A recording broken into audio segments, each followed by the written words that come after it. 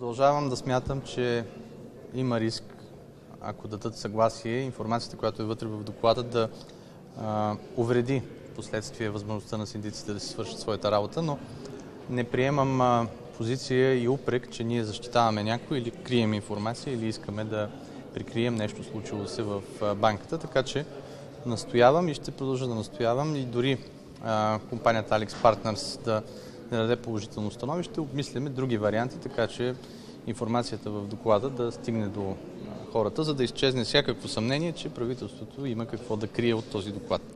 А, клаузата за конфиденциалност е стандартна за подобен тип а, разследвания и на мен не ми е известно в света някой такъв договор да е излезнал пред медиите, но съм готов, а, готов и сме да си понесем този риск, за да няма никакъв а, упрек към нас, че крием някого или нещо от случилото се там. Готов сте на други варианти, казвате какви са? Ако трябва законодателни решения, дори такива, ако трябва, ще предложим, за да може да се стигне до тази информация,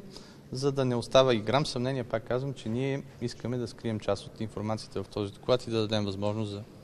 а, изясняване на всички факти и обстоятелства във връзка с фалита на КТБ.